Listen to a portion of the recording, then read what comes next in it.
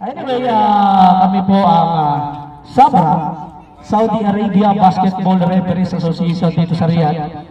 Ah, nagpapasalamat po kami sa pamunuan ng IIEE CRCSA na kami po ang pinagkatiwalaan since ah, 2012 ah nag-ooperate na po ang ah, Sabra. So, anyway, ang babanggitin lang natin ngayon, dahil excited na kayo, yung mga new rules. Yung mga old rules, alam naman na natin yan, ano? Medyo, i-remind lang natin, baka kinukupas na yung mga memories natin.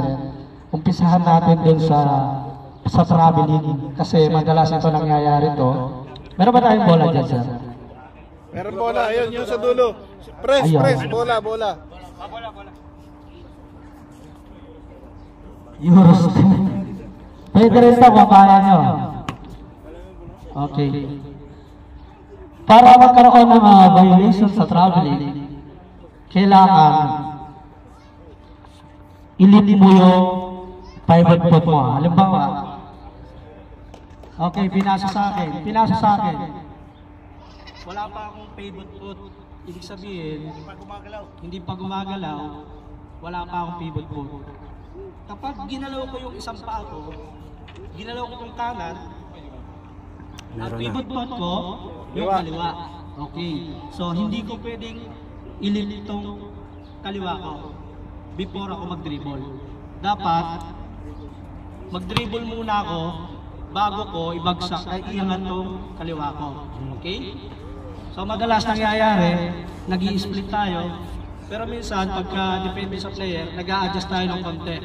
Kung ang mga player ay magagaling, medyo nag-iipit tayo sa traveling. O mga player ay katulad natin, na nagpapapawis lang, medyo nag adjust tayo ng konti. Hindi lahat ng rules ay rules. Okay? Uh, pagbibigyan na natin yung mga hindi naman talaga marunong. Ano? Okay. Kasi katuwaan lang naman. Ay, magagaling din kami. Ay!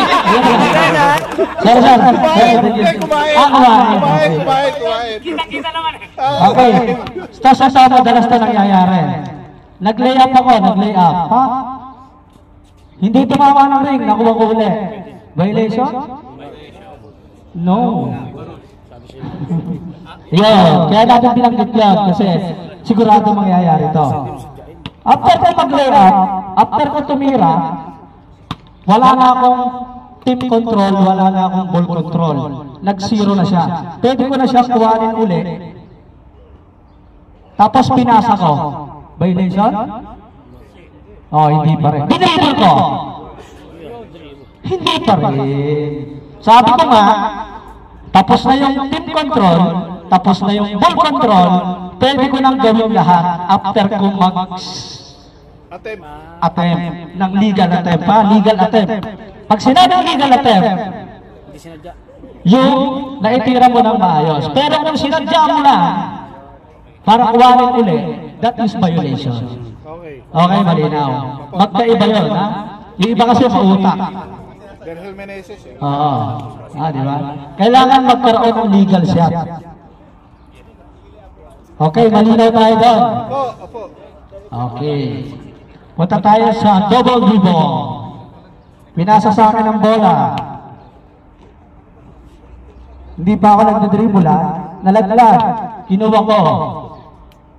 Hindi pa ako nagdidribble. Dinribble ko. Violation? Okay, hindi. Tama yun. Pinasa sa akin, hindi pa ako nagdidribble. Papasa ko, nalaglag. Kinuha ko. Papasa ko ulit, nalaglag, kinuha ko ulit, didribble ko. Sabi ko nga, hindi pa ako nagdidribble. Kaya lang nagkakaroon ng violation sa double dribble kapag tapos ka ng mag-dribble. Ibig sabihin, kapag nag-dribble ka na, hindi pa ako nagdidribble eh. Ang sabi ko, nalaglag. Dribble ba yun? Hindi, okay.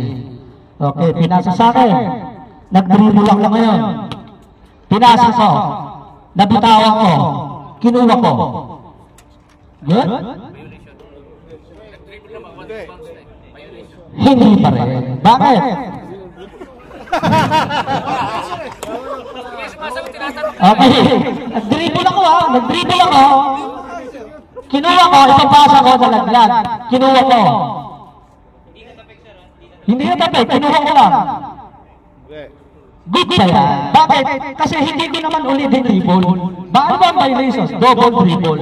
Ibig sabihin, tapos na ako mag-dribble, pinasa ko, nalaglag lang, kinuha ko, hindi naman ako nag-dribble, pwede ko pa ulit kuha nito. Huwag lang akong mag-dribble. Okay, kaya nga double violation. Okay? Maliwanag tayo dyan. So, yung iba ginagawa, pagtapos na mag-dribble, pinasa na bitawan, hinaharangan yung bola, ayaw damputin, parang may tayo. Tama? Kuhanin mo uli yung pwede yun. Tapos ipasa mo sa kampi mo. Huwag mo lang i-dribble. Pwede pala ilaglag. No! Ang usapan lang dito, nalaglag. Hindi nilaglag. Lahat ng intentional is a violation. Okay? Okay, okay, okay. Okay, sa kicking, yung uh, kickball violation, nagdidribble, tumama sa paa ko, nasipa ako, nasipa ako, tumalsik ang bola. Violation? Siyempre hindi. Ang violation lang sa kicking para maliwanag, kapag ginawa mo pagdepensa sa bola, kapag sinita mo yung bola, pero kung nasipa mo lang ang bola, walang violation. Ha? Kaya kicking violation dahil sinipa mo yung bola. Pero kung nasipa mo lang yung bola, wala tayong violation. Okay? Okay, medyo ano ah. Okay ba yan? Wala na tanong doon? Okay, doon tayo sa technicalities. Ito na, konti na lang. Makapaglaro na kayo. Dito mauubos tayo. In the absence of a race, ang ipapatupad natin lahat has paper rules. Okay? Sa technicalities, meron tayong uh, one free throw plus ball position. Dati, halimbawa, na-technical ako, bibigyan ng isang throw itong kalabak ko, tapos kanila pa yung bola. Ha? Pero ngayon, kapag nagdi-dribble ako, halimbawa ako may team control, na technical yung kakampi ko, o kaya ako, bibigyan ng isang free throw yung kalaban, pero sa akin pa rin ang bola. Okay? Malinaw tayo doon. Halimbawa, nagkaroon ng legal shot, nasa area ang bola, nagkaroon ng technical doon sa ilalim, wala nang may team control. Kayo na, di ba, sinabi ko na. Ang pagbabasihan natin doon yung araw possession. Kung ano yung araw possession. Okay? Doon tayo sa, ano, uh, unsportsmanlike. Magkaiba yun. Pag nagkaroon ng unsportsmanlike foul, two free throw plus ball possession. Maliwanag. Hindi magkaiba yan. Magkaiba yung penalty ng technical saka unsportsmanlike. Two free throw plus ball possession yan. Okay? Um, punta tayo dun sa sa shot clock, ah, sa 24 second shot clock.